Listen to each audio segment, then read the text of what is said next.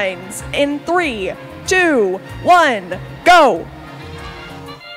We've already had a fast start this morning. We were in qualification match number two. Teams trying to get ranking points. They can get those from putting those cubes and cones in the cooperation links or getting out of the community like 6305. Here we go into Teleop 6305. That's a stable circuits, followed by their teammates 6657 and 980. These teams strategize back in the pits, knowing exactly what they'd like to do to maximize their scores. After all, they only got two and a half minutes to outscore their opponents. 60-72, that's Triton Tech over there using that long arm to put some cubes in the nodes. Got that hybrid zone on the floor. Red and blue trying to figure out what the max score they can do here, working together. It's always a sense of cooperation out here. You win, I win, we all win. 60-60, that's the Circuit Serpents from Rosamond. They're pushing some cubes around. Sometimes drivetrains get tricky and you have to figure out how to score. 980, a lot of teams in the red loading zone. Human players down there trying to feed their robot just where they like it to be fed. 66-57, making sure there's a cube in there, accumulating some points.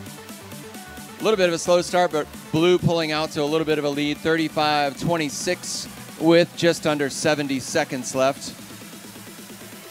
That charge station is harder than it looks. If teams get over 26 points from the charge station, they qualify for a ranking point. And so that means they've got to do it in Teleop or in Autonomous. 980 coming down with a cone.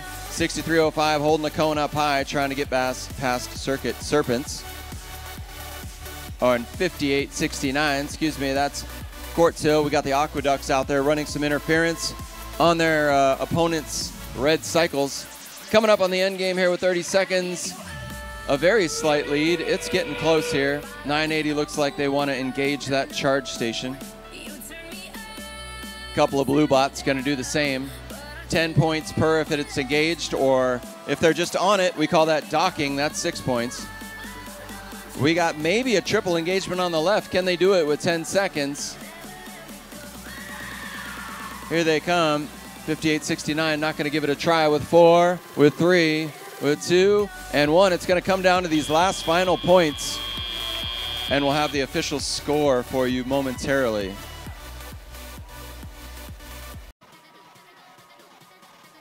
Uh, a couple of even penalties there.